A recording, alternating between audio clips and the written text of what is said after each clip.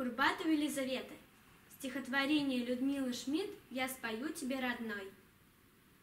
Синеглазая девчонка девяти неполных лет Льется песня нежно, звонко На больничный белый цвет. И под звуков переливы Чьи-то братья и отцы Вспоминают дом счастливый, Просят спеть еще бойцы. Я спою! В ответ девчонка, низко голову склонив. Вот пришла нам похоронка, но я верю, папа жив.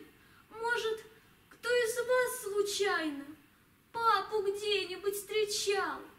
Где-то там, дальней, вместе с папой воевал?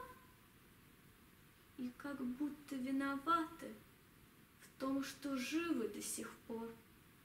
Вдруг отводят все солдаты от девчонки малой взор.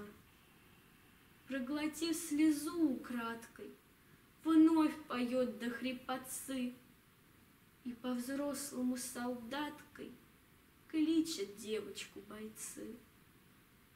Бесконечно петь готова песни раненым она, но при этом спросит снова, а в ответ лишь тишина. Но однажды, как награда, весь изранен, но живой,